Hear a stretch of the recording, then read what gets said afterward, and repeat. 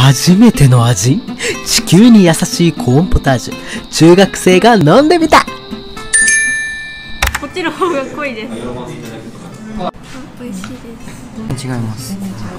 トウモロコシの味がちゃんとしててめちゃ美味しいです。えー、トウモロコシの味が引き出せてめっちゃ味濃くて濃厚です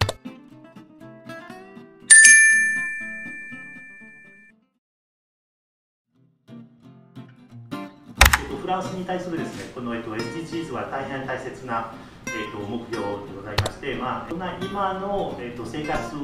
続けると、えー、地球が住めなくなる可能性が非常に高くて、えーまあ、自分のレベルはちっちゃいと思ってるかもしれないですけれども、えっと、皆さん協力してどういうふうにもっと、えっと、地球に優しい、えー、消費の仕方できるか、えー SDGs は、えー、大変やりやすくなると思います。特にですね、えっと、この食べ物に対するの SDGs は、えっと、第2第,、えっと、第12番の、えっと、目標ですね。それは、えっと、もっと地球に優しく消費と作る、えー、どういうふうに優しく作れるって食べられる。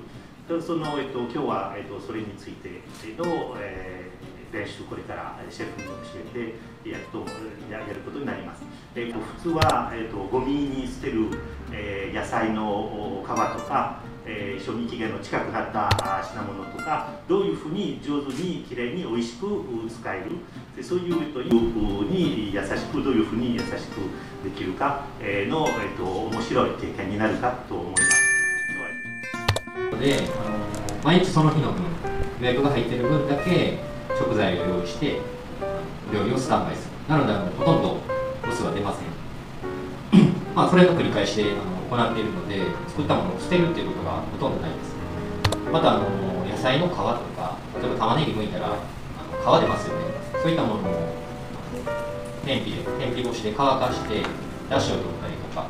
あとはもうここに今いらっしゃる藤本さんトウモロコシ作ってはるんですけどもトウモロコシの芯を水で煮込んでスープを込んだりあとはトウモロコシの芯も乾かして器にしたりして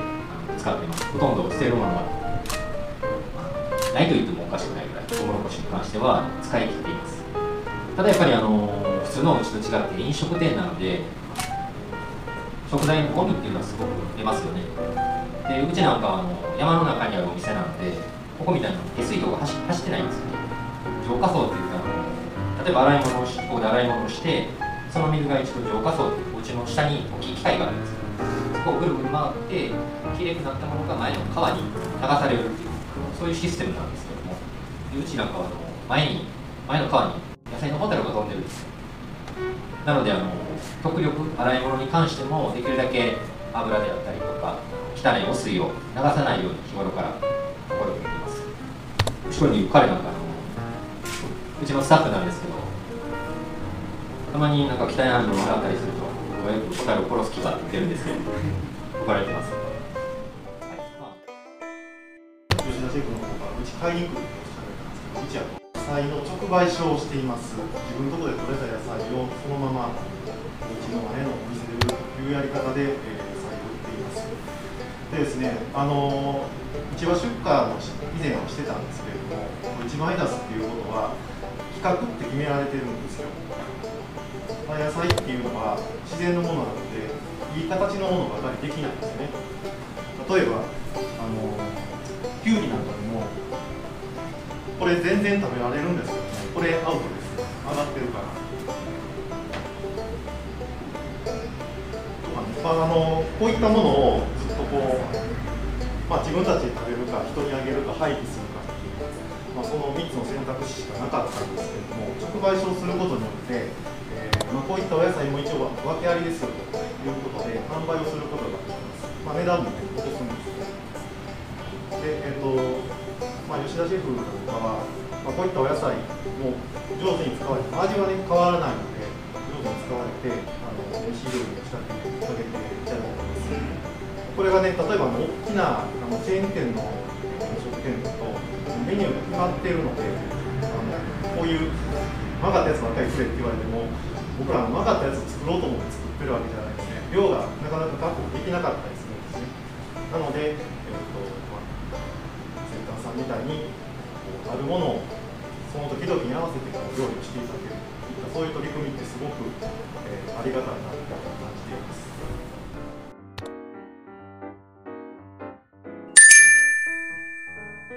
いろんな資源が使われてるんですね地球の中で。そういったものをできるだけ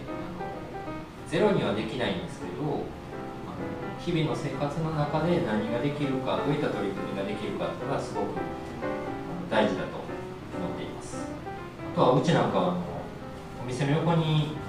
藤本さんみたいにプロではないんですけどあの米を作ってまして田んぼがあるんですね。そここであの 田植えと稲刈りをまあ、近隣のファミリーとかあとはお客様とかこれ田んぼ米作ってるんです野菜は本当に難しいんで藤本さんにお任せしてプロの方にお任せしてるんですけどお米はあのちょっと素人ながらやりたいなっていうのがあってまあ取り組んでます。まあそういったようにあの自分のところで野菜を作ったりとかお米を作ったりとかまさしく地産地消ですよね。そういった中であの SDGs 今は大丈夫やねんけどじゃあ20年後30年後地球の資源どうなってるかガソリンってほんまにあるんかとか。今は大丈夫やけど30年後の未来を見つめて、まあ、何ができるかっていうのを考えていく。これがすごく大切なことだと思います日頃から家庭科のえ中原先生が、まあ、いろんな取り組みしてるということで特にまあそういう SDGs 関係やってるということでご紹介いただきました。えー、食ので、まあ、栄養素もそうですし、えー、食品の選択の仕方だったり旬の野菜だったり見分け方だったりフードマイレージ的なこともありますそれであの廃棄率が少なくなるような調理実習を毎回やっています。